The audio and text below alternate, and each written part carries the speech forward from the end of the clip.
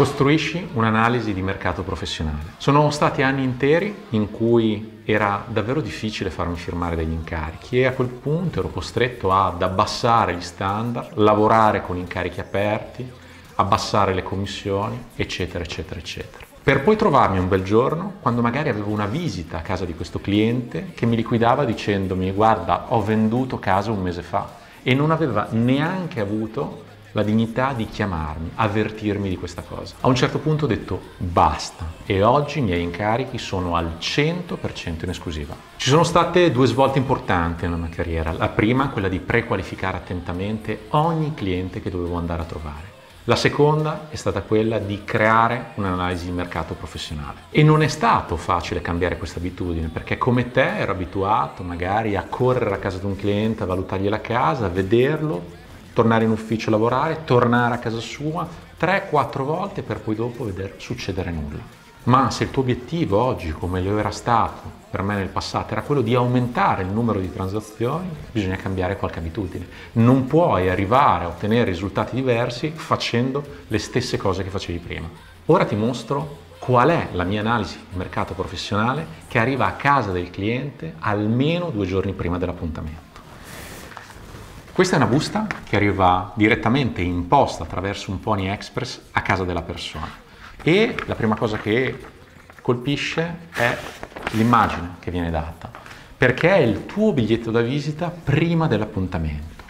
Non risparmiare in grafica, non risparmiare nei materiali, devi mettere sul tavolo un qualcosa che non ha mai ricevuto da nessuno. Nella prima parte dell'analisi di mercato ci sono le testimonianze clienti venditori che hanno venduto la casa con me. Ovviamente loro mi hanno autorizzato a lasciare la loro mail e il numero di telefono in modo che chiunque abbia la volontà e la voglia possa contattarli e chiedere magari dei dettagli direttamente a loro su quello che è il mio operato. Una cosa che ho imparato nel tempo è che è davvero molto diverso per le persone che ci sia un qualcuno che parla bene di te piuttosto che tu stesso che ti vanti dei tuoi risultati. Avere un buon numero di testimonial sia nell'analisi di mercato sia anche magari sulle tue pagine social della tua azienda è di vitale importanza. Successivamente alle testimonianze allego sempre quello che è il piano di vendita per il loro immobile. Perché tra le obiezioni più costanti che ho seguito nel tempo sono quelle ma chi mi garantisce che lei farà tutto quello che mi dice? E soprattutto ah, me l'hanno detto anche gli altri agenti immobiliari, poi dopo ho affidato l'incarico a loro e in realtà è andato molto diversamente. Mettere nero su bianco che cosa farai e dentro quando lo farai dà una certa tranquillità alle persone. Addirittura in alcuni casi io allego il piano di marketing direttamente nell'incarico di vendita con l'obiettivo molto semplice. Qualora io non rispettassi quello che le sto indicando qui, nei tempi che le ho indicato, lei è autorizzata a rescindermi il contratto senza penali, senza nulla.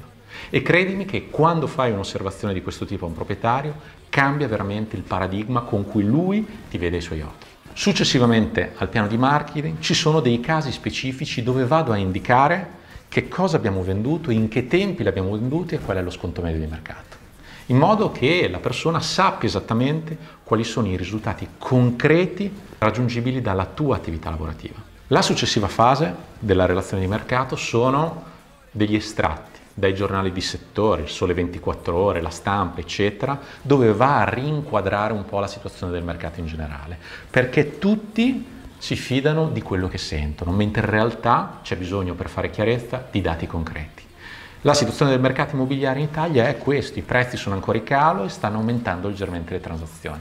Mettere qualcosa di autorevole, in modo che il cliente possa vederlo, le rimette comunque nella carreggiata giusta per capire qual è il momento economico in cui stiamo vendendo. Successivamente a questa fase arriva la fase più importante per la definizione del prezzo